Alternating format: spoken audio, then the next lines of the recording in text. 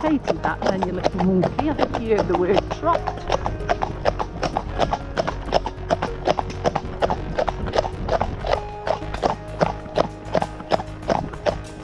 Hmm.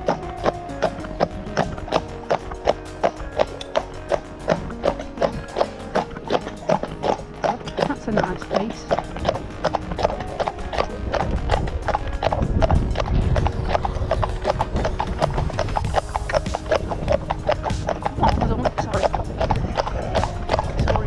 that car window.